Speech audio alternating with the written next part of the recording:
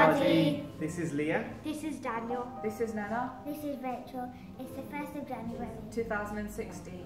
Our New Year's Day service is just finished. On behalf of the Vision, we'd like to wish you all a happy new year and God bless.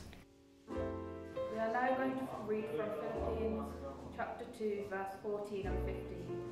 Do all things without complaining and disputing, that you may become blameless and harmless, children of God without fault in the, in the